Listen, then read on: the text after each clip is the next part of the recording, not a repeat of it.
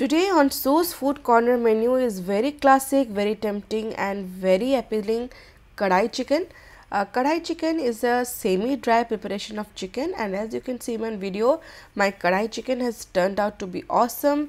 Beautiful colors and lovely flavors. Some dash of ginger juliennes, fresh coriander and few green chilies and voila our dish is ready beautiful rustic raw with lovely flavors with a homemade kadai masala. And believe me the kadai masala is very versatile.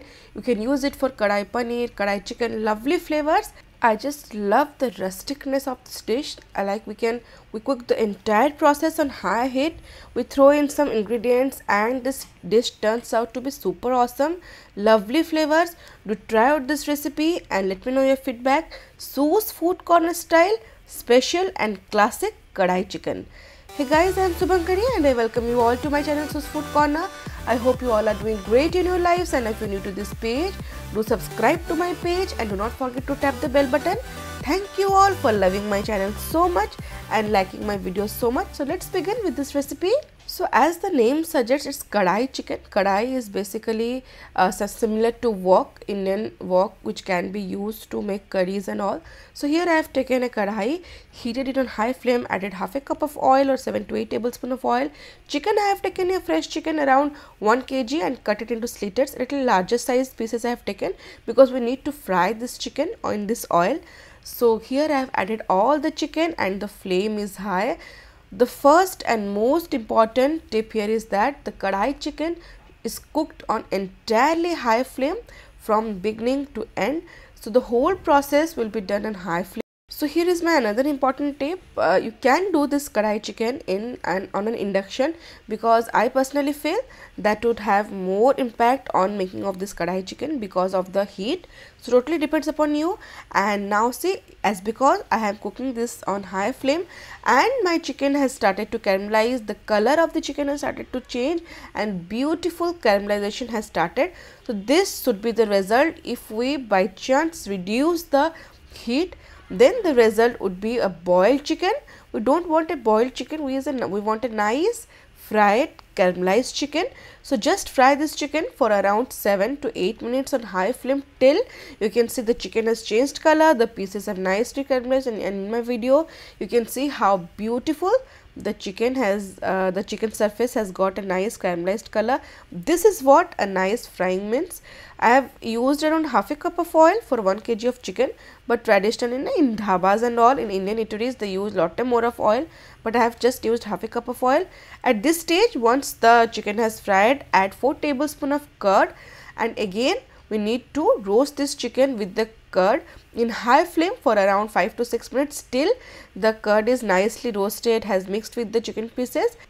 As because we are doing this whole process basically frying on high flame it's very mandatory the chicken pieces should be little large and we need to make some cuts so that the juices nicely penetrates inside the chicken and the chicken has will get a very nice lovely juicy texture with all the lovely flavors of the spices.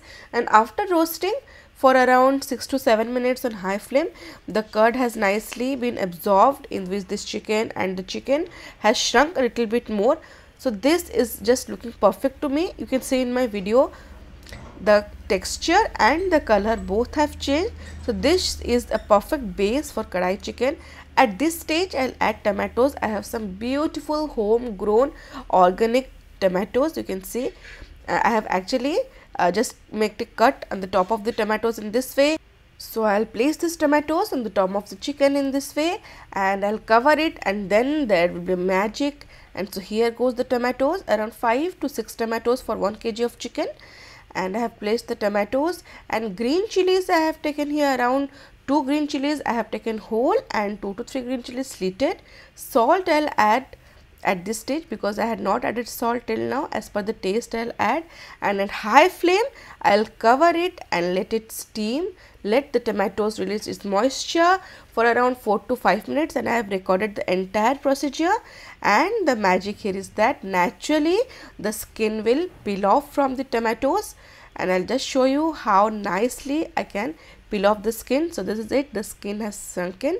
So I'll just use in this way I'll just peel it off and see how beautifully I can remove the skin of the tomatoes. So I have not added any moisture, mm, any liquid in this chicken till now. All the uh, liquid in this wok is because of the chicken and tomatoes. So this is looking lovely to me. Some crushed ginger goes in around 1.5 tablespoon and crushed garlic 3 tablespoon Crushed ginger and crushed garlic gives a very rustic flavor. Do not use garlic and ginger paste. So this is just looking lovely. The aroma of ginger garlic is just awesome. So my pieces have also started to caramelize. Lovely caramelization. And actually I do have a little bit cold. So there might be a difference in my voice for today. So please bear with me for this video. So this is looking good to me. It will take around 4 to 5 minutes on high flame till the raw smell of ginger garlic goes away. Meanwhile, we'll prepare a kadai masala. I have heated a pan on medium flame. I'll add 2 tablespoons of coriander seeds, 1 teaspoon of cumin seeds, cinnamon 2 inch and green cardamom 4 cloves 5 to 6 fennel seeds half teaspoon black peppercorn 7 to 8 and dry red chili 4 to 5 and I need to roast all these spices on medium flame I dry roast them for just around 4 to 5 minutes till they get a nice smell. We don't want to overburn them and this is a perfect blend of kadai masala with a predominant flavor of coriander seeds, whole coriander seeds and believe me this spice mix is so lovely. You can actually prepare this in a little larger amount and store in airtight container. This spice mix can be used for kadai paneer, uh, dhaba style paneer, kadai chicken, especially uh, any preparation of dhaba style um, curries, this masala can be a lifesaver. So after roasting for around 2 to 3 minutes on medium flame, this spice is ready. I'll just let it cool it down and I need to crush it or do I don't need to make a powder, fine powder. So what I need is something like this, 2 heap tablespoon of the prepared kadai masala, uh, semi uh, thick, I mean semi powder you can call it basically crushed. This goes in to this chicken and turmeric powder goes in 1 4 teaspoon very little and Kashmiri red chili powder 1.5 tablespoon. And after adding Kashmiri red chili powder this will change the look of the kadai chicken because it will now have a beautiful red color. And adding dry spices at this stage will wrap up all the flavors. Oil will ooze out. And at this stage goes dry fenugreek leaves or kasuri methi half teaspoon. And curd goes here more 2 tablespoon just to have that little more moisture in the gravy of this chicken. Fresh coriander leaves around 2 tablespoon goes in give it a mix. And finally i just need to just cover it and cook it for more 4 to 5 minutes till i can see the curd we had added will be nicely mixed with this gravy and my kadai chicken will be ready. So after 4 to 5 minutes on high flame my kadai chicken will be ready and as I said this is a semi thick preparation uh, if you want you can add a little bit of water at this stage but I won't prefer it. The chicken is just looking lovely. Finally to season it goes 1 teaspoon of chaat powder lovely flavors and ginger juliennes this has a very beautiful effect on the texture and taste of kadai chicken. 1 inch ginger I have cut into lovely juliennes 2 whole green chilies and fresh coriander leaves and kasuri methi or dried fenugreek leaves around half teaspoon. So this four combination at the end kasuri methi, green coriander, green chili and ginger juliennes with chaat powder. These 4 to 5 combination will wrap up all the flavors of the kadai chicken because basically now we have done the cooking. All these ingredients will add to the aroma and taste of this chicken. Switch off the flame and our beautiful lovely raw kadai chicken is ready. Rustic flavors. I just love the rusticness of this dish. So let's serve this. So I have served this beautiful kadai chicken. You can see how nicely the spices have coated the chicken pieces. It's tender, it's lovely, beautiful red color. And as I said, it's classically a semi-dry preparation. Uh, so you can enjoy it with Indian flatbread, some roti, naan and some ginger juliennes goes on top, a dash of green coriander, slitted green chilies and lovely flavors. As I said, this is a classic dhaba style chicken preparation with some beautiful homemade kadai masala mix that actually adds to the jing.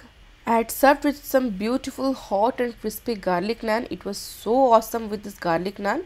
You can also enjoy this with rotis, and it will just turn out lovely entire process is done on high heat so basically it's a very uh, freestyle rustic style cooking and I just love this style of cooking. So try out this recipe and let me know your thoughts and now it's time for the comment of the day and today's comment of the day is from Hina Sheikh. She writes Inshallah, we'll try cause my hubby loves spinach. She has actually commented on my recipe of lesuni palak. Beautiful, lovely preparation of spinach. Thank you so much Hina ji for your lovely feedback. I'm so glad that my videos are watched and liked by beautiful people like you. Thank you so much Hina ji again and today's recipe is a very special chicken recipe. If you have liked the video, do give a thumbs up. Do not forget to share with your family and friends and subscribe to my page. See you in next video. Till then stay safe, love life and happy fooding.